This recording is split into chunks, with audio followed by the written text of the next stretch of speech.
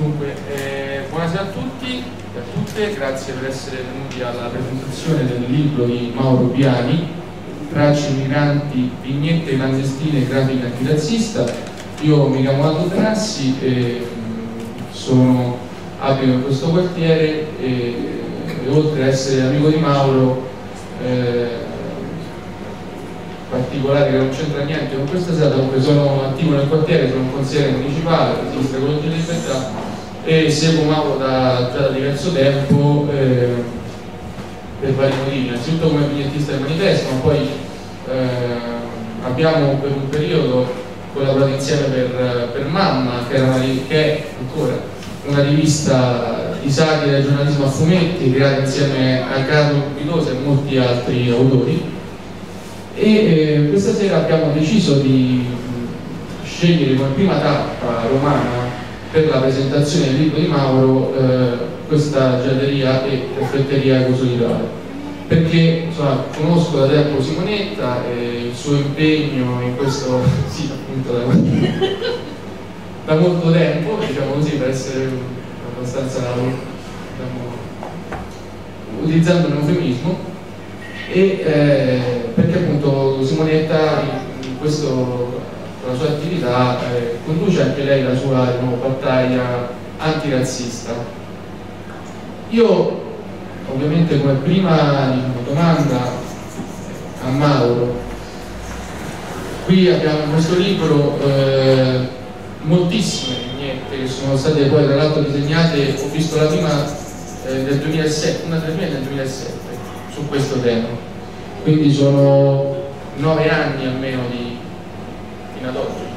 vignette sul tema della, dei migranti e diciamo, qual è la traccia appunto, che hai seguito per eh, comporre questo libro? Allora, innanzitutto come dicevi, il libro è stato fatto in collaborazione con eh, Carlo Rubidosa che ha curato la parte giornalistica ed ha poi scelto anche gli argomenti per le infografiche che sono tratte dal dossier eh, statistico sull'immigrazione dell'INOS e, e, poi da Antonella iniziamo a ringraziare anche Antonella Carnicelli che è quella che ha realizzato le infografiche alcune ne, ne ho poi portate in PDF pure qui nei file. Ma io innanzitutto eh, ho cominciato mo molto prima, nel 2007 cioè dal 2003-2004, tanto da ricostruire un po' anche tanto da ricostruire un po' anche diciamo, la storia proprio del, dell'immigrazione in Italia, tanto per cominciare. Eh, tanti qui ci sono mh, 130 vignette, 140 vignette che sono state solamente diciamo, selezionate per il libro, ma in realtà ne ho fatte almeno 500 sull'argomento. Eh, perché questo interesse? Eh, L'interesse nasce innanzitutto dal, dal, capire le ragioni. E quindi pure come anche scritto un po' nella prefazione ehm, gli interventi iniziali eh, pur partendo da situazioni molto difficili anche da tragedie, anche dalla eh, rappresentazione di alcune tragedie successe, delle molte, eppure è un libro sulla speranza, perché eh, quello che fa muovere le persone da sempre nel mondo è proprio quello, la ricerca di un posto dove poter abitare in pace, per esempio, dove poter stare in pace con la propria famiglia, con uh, i, propri, i, propri, affetti, con, uh, con un lavoro. E questa non è una novità, diciamo il mondo da sempre eh, è fatto di migrazioni, eh, anzi il mondo attuale, quello che adesso conosciamo, è il frutto delle migrazioni che ci sono state sia in Europa che nel resto del mondo. Quindi, come dire, è un movimento naturale in realtà. L'interesse nasce proprio da questo. Poi naturalmente a questo sono attaccati nel corso degli anni anche le reazioni eh, che spesso ci sono state diciamo, no? Nel, nelle migrazioni e abbiamo, noi abbiamo suddiviso il libro in sei paragrafi più o meno e uno va bene sull'Europa, sulla fortezza Europa, eccetera.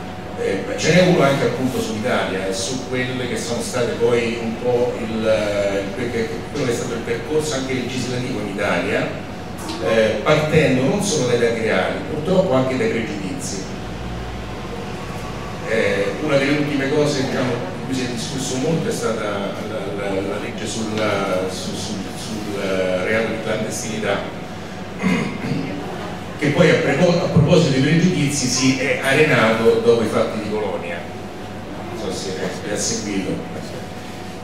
Perché abbiamo eh, coinvolto anche l'IDOS eh, questa volta? Cioè perché non è solamente un libro di vignette perché ci sembrava importante eh, dare anche diciamo, una base appunto di realtà no?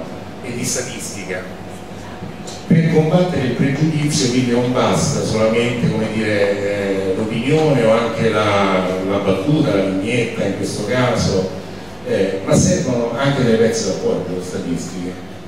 E il mezzo migliore, sicuramente da tanti anni, è proprio questo dossier statistico, in questo momento non ce l'ho qui, ma che alla fine è un librone così alto, che viene stampato, mi ha detto come il Chionda che è il presidente di Rios, in 12.000 copie. Purtroppo queste 12.000 copie non si sa bene dove finiscono, gli ho detto io, perché se almeno una piccolissima parte di questi dati fossero discussi in televisione, eh, nei giornali, negli organi di informazione in maniera seria, probabilmente molti dei pregiudizi cadrebbero. Molti dei pregiudizi cui poi, eh, su cui poi si basano una serie di trasmissioni televisive, una serie di eh, inchieste anche diciamo giornalistiche eccetera. E, ecco, questa è diciamo, una presentazione un po' generale del mondo. Dunque, diciamo che sempre, sempre cioè può essere difficile fare un commento, sì, sono, non sono venire niente perché così mi anche conto. no, ecco, io per esempio ho, ho notato una cosa, cioè una differenza di stile all'interno dello stesso tema. Mi spiego meglio. Uh, ho ritrovato una che, di cui nemmeno mi ricordavo, che era quella del balcone eh, con euroscettici. Esatto. Questa qui diciamo strappa un sorriso, però poi ce ne sono magari eh, delle altre, ora non so se sta anche nella, nella cartella che hai preparato, però c'è un'altra in cui c'è una giornalista che eh, rispetto al tema del, degli sbarchi chiede un commento e rivolge il microfono verso l'acqua. E diciamo quella è una vignetta che a differenza di questa qui eh, lascia invece un sentimento più, più amaro. Insomma, quindi diciamo che rispetto a questo tema ci sono diversi approcci. Eh, come li gestisci ogni volta? Questa domanda inutile. no, nel senso che è chiaro che mh, vabbè, la satira è fatta appunto di, di molti momenti, diciamo, molti anche stili e diversi, insomma la satira non è un genere come dire, unico, decodificabile in maniera eh, standard. Eh per cui c'è il momento in cui è possibile attirare naturalmente diciamo, il, la, il, il, fine ultimo è quello comunque di attirare l'attenzione sul tema no? e cercare di dare un um, sfidando il luogo comune cercare di dare un punto di vista differente. Questo punto di vista differente può essere dato sia dal, appunto, da un atteggiamento tra virgolette un po' più tragico sia appunto da momenti eh, grotteschi, perché quello più che, come dire, sia il strappo appunto il sorriso dall'identicismo, però ecco appunto è, è un'immagine grottesca tutto sommato, è una delle immagini, anzi ce ne sono altre ben peggiori, questo, beh, questo è sul caso del... Ecco. Eh, questa è la rivisitazione, cioè la ricerca di far come dire, di, di puntare l'attenzione sul fatto che molte delle battaglie pure che naturalmente niente non si spiega. No, no, no, però, però vabbè, è facilmente, è facilmente, comprensibile. Molte delle battaglie del passato, per cui tanti insomma, sono spesi anche, eh, probabilmente adesso fanno parte in fondo un po' come la copertina del libro, no? cioè che chi è che non ama Mandela? Perché Mandela ormai è diventato un'icona. Quando uno diventa un'icona, come Gramsci, come Che Guevara, come tante altre icone, eh, Falcone e Borsellino, si depotenzia il messaggio, cioè l'icona depotenzia il messaggio. La satira, se può, nel mio caso ad esempio, eh, cerca di recuperare il messaggio rendendo appunto differente l'icona, quindi lavorando sull'icona.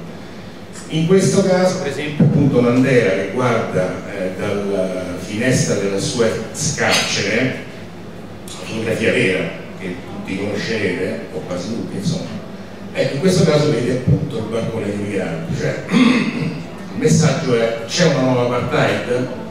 Sì, c'è una nuova apartheid per me. E poi non è neanche tanto nuova, questo è il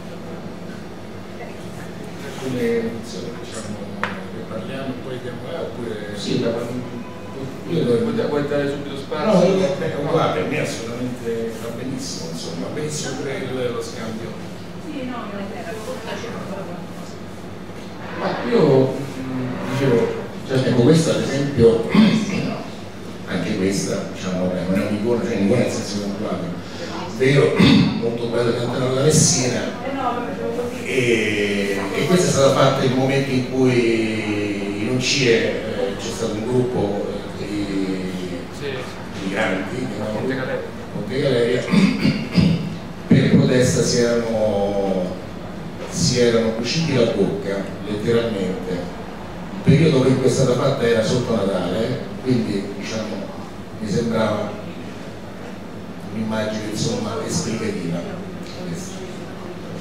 io vorrei fare adesso un attimo una domanda su sullo strumento che ha utilizzato però per produrre questo libro, che anche questo secondo me è un, è, sì, è un segnale, ma è anche una qualità che mi fa chiedere, ma come mai un libro del genere per essere pubblicato eh, diciamo, si decide la strada del crowdfunding e magari perché non ha trovato un editore disposto a a spendersi su questo tema in questa maniera, producendo un libro di vignette che comunque è, è differente rispetto ai, ai, fumetti che in questo momento hanno di nuovo preso piede, comunque il graphic novel è un genere che ormai è diventato uh, assai popolare, che comunque è un, uh, oltre ad essere una raccolta di vignette e illustrazioni, che poi secondo me anche illustrazioni è il termine più adatto,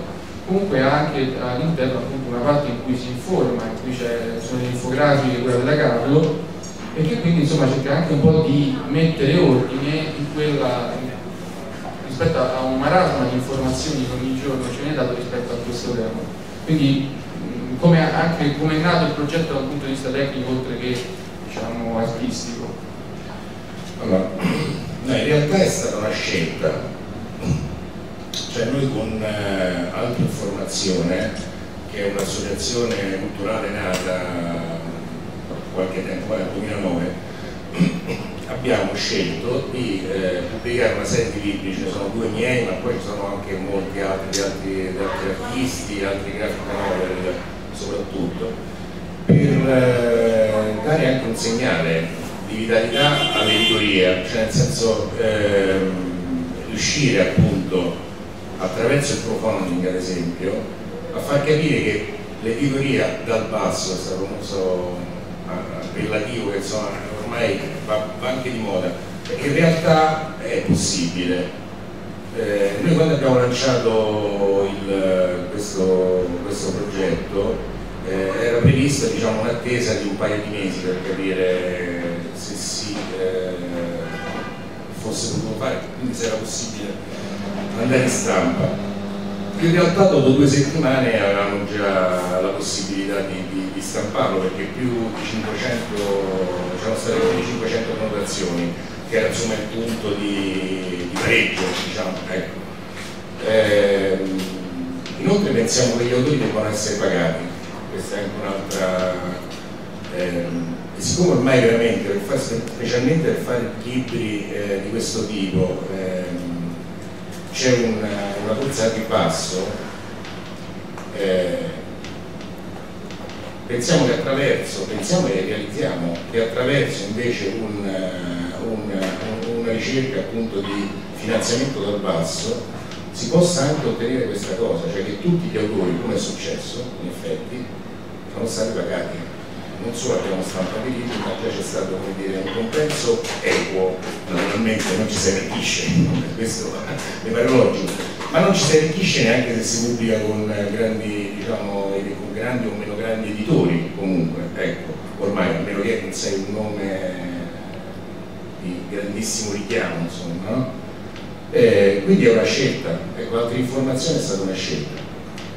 Tra l'altro, eh, come penso quasi tutti saprete, il eh, manifesto poi, vedendo il progetto del libro, c'è stata anche questa diciamo, soddisfazione, chiamiamola così, eh, questa cosa importante, eh, ha sposato diciamo prima ancora che economicamente e politicamente, no? cioè il, lo spirito del progetto, l'ha visto insomma finito, non l'ha visto stampato, l'ha visto diciamo, il libro finito e quindi ha deciso di stamparne comunque 20.000 copie quindi in realtà questo libro ha avuto oltre alla diffusione in crowdfunding e quella che sta ancora avendo che avrà spero insomma per, ancora per molto anche diciamo, il, la diffusione attraverso l'edicola che è stata una cosa che mi dicono perché io non ho dati reali ancora perché non ce l'ha nessuno nel purtroppo sono cose un po' lunghe eh, mi dicono che è andata molto bene comunque è difficile trovarli in edicola che non l'ho più insomma io ho il dato reale dell'edicola vicino a casa due copie tutte e due vendute quindi sì, ecco magari erano due copie di edicola però una copia di edicola le edicole in Italia sono circa 25.000 il libro è stampato infatti 20.000 sembra tanto. In realtà appunto se dovevamo coprire tutte le edicole non c'era neanche una, edicola quindi è chiaro che magari qualche edicola non è andato poi vabbè il manifesto c'è una distribuzione che non arriva nelle isole, cui purtroppo Sardegna e Sicilia, anche se poi appunto molti sardi e molti siciliani l'hanno preso attraverso appunto il crowdfunding e quindi la spedizione postale, oppure anche attraverso il sito del manifesto, perché poi sul sito del manifesto c'è un'edizione, c'è quella che ha stampato il manifesto che è praticamente quasi identica a questa, eh, nel senso che mancano forse tre vignette 3-4 vignette e leggermente più piccola, più economica, però ecco, è arrivato insomma, anche dove si credeva non potesse arrivare. Ecco, io direi che fatte queste tre domande che sono le uniche domande che si potevano fare di fronte a, a un progetto così, insomma, così vasto e così, così ampio, lasciare comunque la parola a qualcuno del pubblico che, che ha voglia di intervenire di fare questa storia umana che a volte è dimenticato perché all'inizio faceva tanto boom, la gente guardava. Gli ultimi tempi che muore 10, 20 o 30 o nessuno non fa più scalpore. Anche perché oggi una domanda, ma un pesce che uno mangia del Mediterraneo, del mare, diciamo per la vita queste persone, è il pesce o qualche cuore di qualche bambina anche il cervello di qualche mamma che sognava di stringere il suo figlio, che sognava di una vita migliore e invece si è andata a finire in bocca di un pesce oppure di un, che ne so, di una balena, di uno squalo.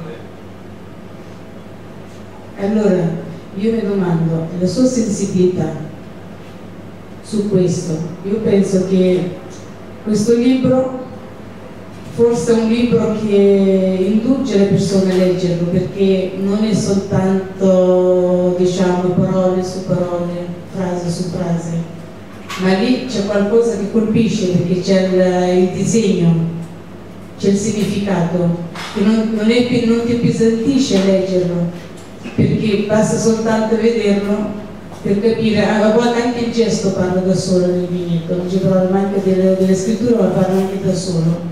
Quindi complimenti per questo, questo lavoro che lei ha, ha fatto che veramente a me mi ha toccato. Spero che avrà del bel successo perché a volte ogni giorno si presenta il libro pesante che uno legge tre frasi e poi si, si stanca, invece questa c'è la curiosità di arrivare alla fine e perché le rivive anche nelle, nel quotidiano, rivive nelle croniche ogni giorno queste immagini che lei ha, ha voluto scrivere e anche dimostrarlo con tanta forza. Grazie a te. C'è poco da dire, eh, cioè, anch'io penso che, oh, a parte che mi piacciono tantissimo i tuoi disegni, che già conosco dal, dal manifesto, e, sì, spero che oltre ad avere, ad avere successo, che magari possa scuotere qualche, qualche coscienza, anche se però ci si, ci si prova. Io invece spero che con questo linguaggio arrivi a un, più, a un, a un pubblico più giovane, perché è importante che da lì si parti per il cambiamento. Eh, siccome spesso il libro si vede la copertina, si vede la quarta e poi non sempre si apre, arrivare con un messaggio del genere forse arrivi meglio. Sì, La- grazie innanzitutto. Ehm, sì, solitamente, cioè quello che diciamo, secondo me dovrebbe fare anche un po' la Salia, in tutti, in tutti i casi la fa anche in maniere differenti forse, se, se è Salia, almeno come la intendo io, è quello di dividere innanzitutto l'umanità da- da- dalla disumanità, no? Cioè c'è un, appunto, c'è, eh, chi diceva rimaniamo, restiamo umani, in realtà la disumanità fa parte anche dell'umanità, cioè ognuno di noi ha del- no, una, una possibilità di, appunto, di avere una sensibilità umana e nello stesso tempo anche di essere disumano. Il, ehm, l'assuefazione e l'abitudine a determinate ehm, notizie che poi diventano sempre più basse eh, se uno legge l'home page dei giornali, no? se 11 morti, 5 bambini, 25, 30, eh, fa parte di quella crescita della disumanità, no? Po' forse normale, normale, tra virgolette, nel senso chi sta sotto una guerra, eh, come dire, difficilmente riesce poi alla fine, dopo mesi, anni di guerra, penso alla Siria, a contare tutti i morti no, in questo momento. Eh, però è importante non dimenticare appunto, recuperare, no? Eh, per me è importante. Devo dire che io ho trovato, per esempio, nel manifesto, eh, da questo punto di vista, l'attenzione di cui sono contento, insomma, anche nel periodo per dire, io ho lavorato anche con Liberazione, eh, con, vabbè, con l'unità, facevo dei anni, molti anni fa, qualche anno fa che ho fatto quel piano qualcosa. Comunque, anche nel periodo in cui Berlusconi diciamo, era sempre bersaglio principale della, della satira, diciamo, ho trovato sempre la possibilità attraverso i giornali in cui ho lavorato di poter invece bypassare alcune notizie, cioè di prendermi questo privilegio, me l'hanno poi concesso per fortuna, di bypassare abbastanza diciamo, la notizia mainstream, cioè quella che viene un po' immediata, no? che, che, che politica immediata, per potermi appunto occupare di quello che mi interessava a me principalmente. E, e un certo tipo di atteggiamento, eh, umanamente parlando, l'ho sempre ritenuto incomprensibile. Cioè, come si fa a non avere compassione, nel senso proprio latino del termine, no? compatire, eh, di fronte a determinate notizie. Cioè, chi è che partirebbe col barcone o col canotto? Ma chi? Io no. Ah, a meno che non fossi così diciamo, eh, motivato da varie questioni economiche, guerre, eccetera, da dover scappare, fuggire. Eh, quindi capisco che è un problema, come dire, di anche, eh, di, eh, come dicevo prima, anche di informazione tra l'altro, perché per esempio pensare che, adesso vi dico alcuni dati, visto che pensare che in Europa c'è uno 0,3 dell'immigrazione mondiale, che noi pensiamo sia un'invasione, perché ce la presentano come un'invasione, quando in, adesso io dico il Libano, vabbè perché è abbastanza diciamo particolare, ma insomma in Libano c'è più del 40% di immigrazione, cioè come popolazione, quelli il 40% sono immigrati.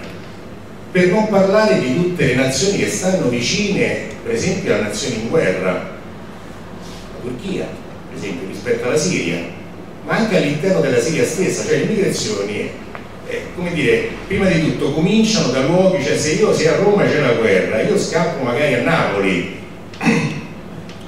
quindi questo per dire che probabilmente uno dovrebbe, ecco, attraverso un'informazione corretta perlomeno, uno dovrebbe innanzitutto ridimensionare ecco, il fenomeno e capire le vere, come dire, le vere dimensioni. E poi non come dire, solamente, un'altra cosa che mi sorprendeva, anche se so che stiamo in una società di immagini, come si diceva prima, eh, il fatto del bambino che è rimasto famoso, no? ma quanti bambini erano morti prima e quanti ne sono morti dopo? Eh, anche quello purtroppo è diventato un'icona vuota se non è supportata da un'informazione giusta, da una politica, naturalmente dalla politica, perché la politica ha una grossa responsabilità, d'altronde è, è, il suo compito, non è che per, per dare, come dire, non per buttare addosso diciamo, la croce a qualcuno, ma in realtà è il suo compito. Il suo compito sarebbe non solo quello di andare dietro la pancia delle persone, ma quello anche di far capire veramente la situazione qual è ed essere razionali, eh, perlomeno. Eh,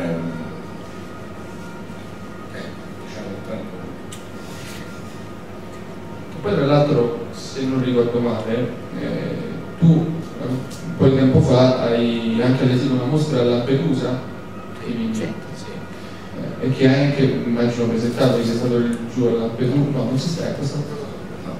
Eh, ho fatto una mostra all'interno di un festival eh, che fanno a Lampedusa, tra l'altro qui c'è anche una bellissima cosa scritta da Giusy Nicolini che è il sindaco di Lampedusa, che ho ringraziato veramente da morire, eh, perché si capisce da quello che si legge che veramente insomma, lei vive giornalmente il, il, il fenomeno, insomma, la questione lo vive ecco, in maniera col cuore e col cervello.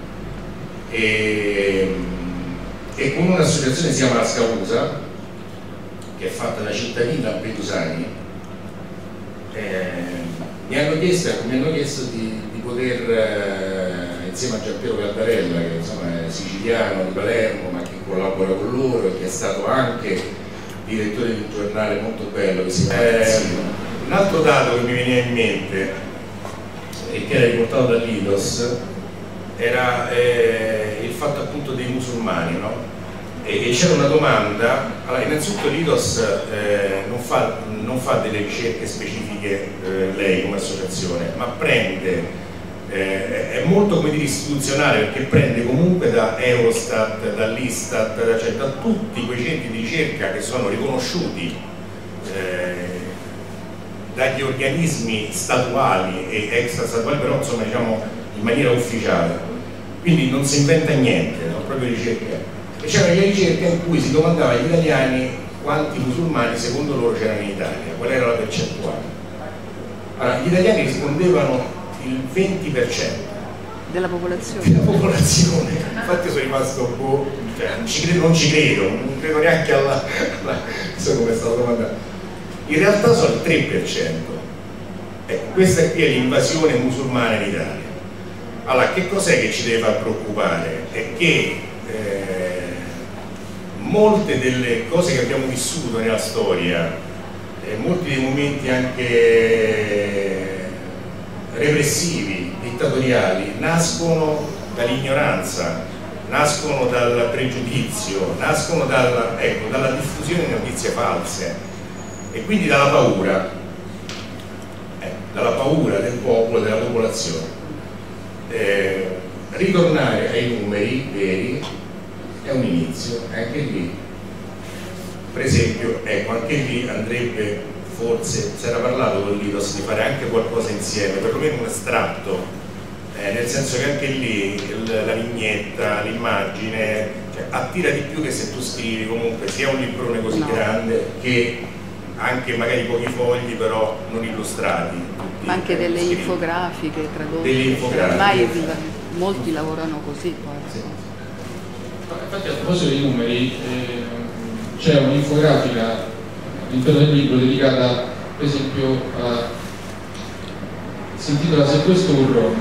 E anche qui io sono rimasto colpito dai numeri che vengono citati in questa infografica perché dice in Europa l'Italia ha una delle percentuali più basse di Rom che è lo 0,25% sul totale della popolazione residente. E su 180.000 Rom e Sinti residenti nel nostro paese soltanto 40.000 vivono in insediamenti formali e informali che sono i cosiddetti campi e corrispondono allo 0,06% della popolazione italiana. Eh, eh, anche questi sono dati che, dato che poi diciamo, la, la, questione eh, è molto sentita anche in questo territorio perché comunque i campi eh, molto spesso vengono sistemati nelle zone più, più periferiche della città e forse non è il caso purtroppo.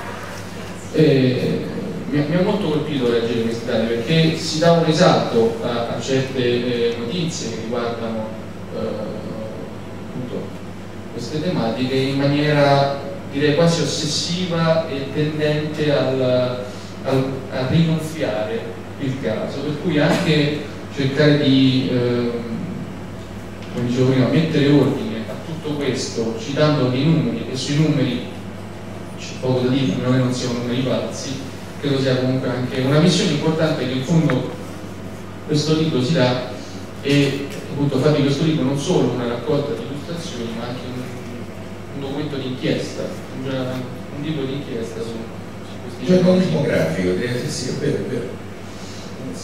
Comunque io mh, credo che abbiamo detto abbastanza tutto su, sul libro, non voglio tediare Mauro oltre anche voi. Ovviamente io ringrazio comunque coloro che hanno partecipato e anche la giateria e caffetteria, prego segretario Flash che ci ha ospitati. Grazie. Grazie a voi. Qualcuno vuole anche intervenire, noi siamo, siamo aperti e disponibili. Per dire dei prossimi appuntamenti, perché magari quelli che non ci sono potranno andare. a Roma sicuro, a Roma sicuro ci sarà una eh, prossima presentazione che eh, si terrà il 26 di febbraio alle ore 21.30 eh, presso l'officina culturale Via Libera al Quadrato che si trova in Via dei Furi 25 e eh, a dialogare con Mauro, diciamo così, ci sarà Marica Di Pieri dell'associazione Assurde.